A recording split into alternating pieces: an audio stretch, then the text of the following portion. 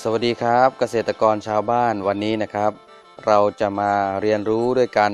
ในเรื่องการทำฮอร์โมนนมสดนะครับฮอร์โมนนมสดก็จะมีประโยชน์สำหรับพืชแล้วก็ผักนะครับช่วยในการเร่งการเจริญเติบโตของพืชได้ดีนะครับ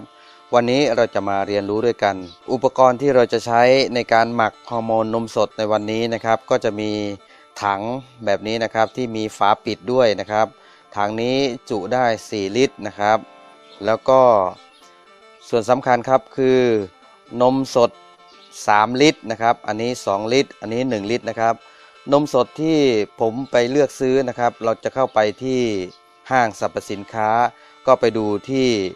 เขาลดราคานะครับ สมมุติว่านมสดใกล้จะหมดอายุเขาก็จะนำออกมาลดราคา เราก็จะได้ซื้อในราคาที่ถูกนะครับ แล้วก็มี กากน้ำตาลครึ่งลิตรนะครับ ถ้าท่านไหนที่ไม่มีกากน้ำตาล ก็สามารถใช้น้ำตาลทรายแดงได้นะครับ ครึ่งกิโลละลายน้ำนะครับ แล้วก็จะมีนมเปรี้ยวนะครับ นมเปรี้ยวที่เขาเขียนเอาไว้ว่า มีจุลินทรีย์ และโตบาซิลัสที่มีชีวิตนะครับ เราก็ใช้ 1 ขวดนะครับ อัตราส่วนก็แบบนี้นะครับ นมสด 3 ลิตร กากน้ำตาลหรือน้ำตาลทรายแดง ครึ่งลิตร นมเปรี้ยว 1 ขวดนะครับ เราจะเอาทั้งหมดนี้ใส่ลงไปในถังหมักนะครับ ผมก็จะใส่นมสดเข้าไปนะครับ อันนี้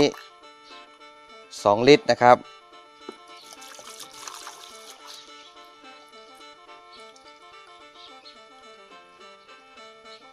ไม่ต้องไปซื้อที่มันราคาแพงนะครับ เราก็ไปซื้อที่เขาลดราคานะครับ อันนี้ 1 ลิตรนะครับ รวมกันก็จะเป็น 3 ลิตรนะครับ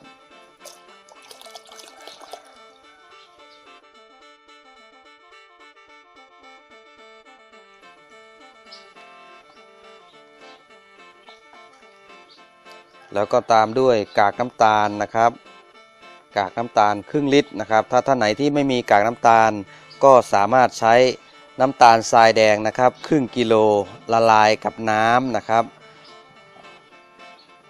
จะละลายน้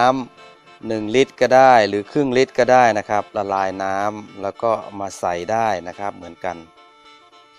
ใส่หมดเลยนะครับ สุดท้ายก็คือนี่นะครับ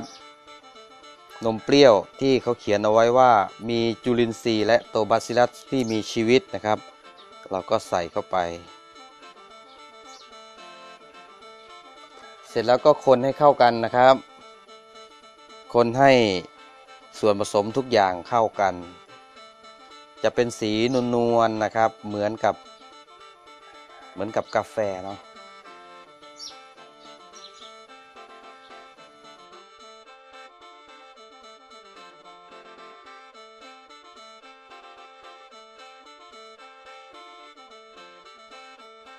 เสร็จแล้วนะครับเราก็จะปิดฝาหมักเอาไว้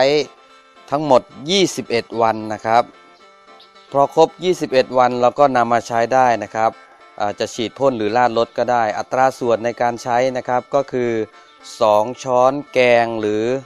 ที่เขาเรียกว่า 2 ช้อนโต๊ะต่อน้ำ 20 ลิตรนะครับ ผสมกันฉีดพ่นไปทางใบนะครับ ก็จะเป็นอาหารทางใบ เร่งการเจริญเติบโตของลำต้น เร่งการเจริญเติบโตของใบนะครับทำให้ใบแข็งแรงลำต้นแข็งแรงนะครับฮอร์โมนนมสดก็มีประโยชน์สำหรับการเร่งดอกเร่งผลด้วยนะครับ ในช่วงที่พืชของเราที่กินดอกกินผลนะครับกำลังออกดอกก่อนที่จะออกดอกนะครับ เราก็ฉีดพ่นไปทางใบนะครับ หลังจากที่พืชของเราออกดอกแล้ว อย่างเช่นมะม่วงอย่างนี้นะครับ ออกดอกเรียบร้อยแล้ว เราก็ลดปริมาณของฮอร์โมนลงจาก 2 ช้อนก็จะเหลือ 1 ช้อนนะครับ เหมาะสำหรับคนที่ชอบปลูกพริกนะครับ ปลูกมะเขือแบบนี้นะครับ เอาไว้กินที่บ้าน พืชผักที่เรากินผลก็สามารถฉีดพ่นได้นะครับ ถ้าสมมติเราจะลดลงดินก็จะทำให้ดินร่วนสุย ขอบคุณทุกท่านที่รับชมคลิปวิดีโอของเราจนจบ อย่าลืม กดที่ปุ่มติดตามด้านล่างสีแดงๆ เพื่อไม่พลาดคลิปวิดีโอใหม่ๆของเรา ขอบคุณและสวัสดีครับ